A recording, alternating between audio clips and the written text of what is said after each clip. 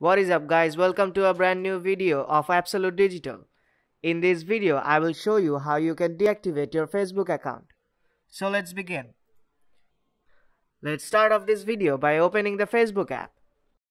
Now tap on three bars on bottom right corner. Now scroll down and tap on settings and privacy. Then go to settings. Now tap on personal information. At the bottom tap on manage account. On this page, tap on Deactivate.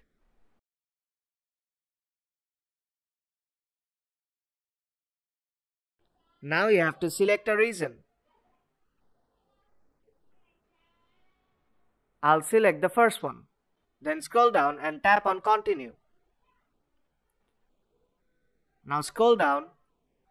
You have to select a reactivation time. You can select any period you want. I will go with don't reactivate automatically. Then tap on continue. Now scroll down and enable opt out of receiving future notifications and then tap on deactivate my account. And this will immediately deactivate your account. If you find this video helpful then do drop a like and subscribe for more tutorials and see you in the next one.